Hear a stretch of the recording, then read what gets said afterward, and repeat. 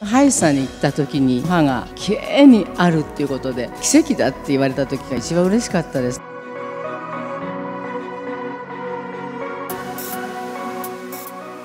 少なくとも私は1日に最低5回は歯を磨いてます。意識認識それから歯の管理はきちんとやって本当に習慣になってま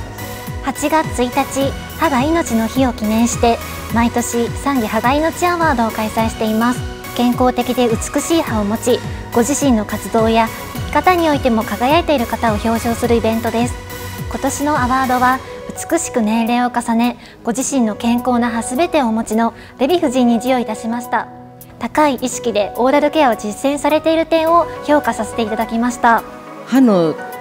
大切さ管理の貴重さを気づいてくださって日常生活に取り入れて健康な歯持っていただきたいと思いますね。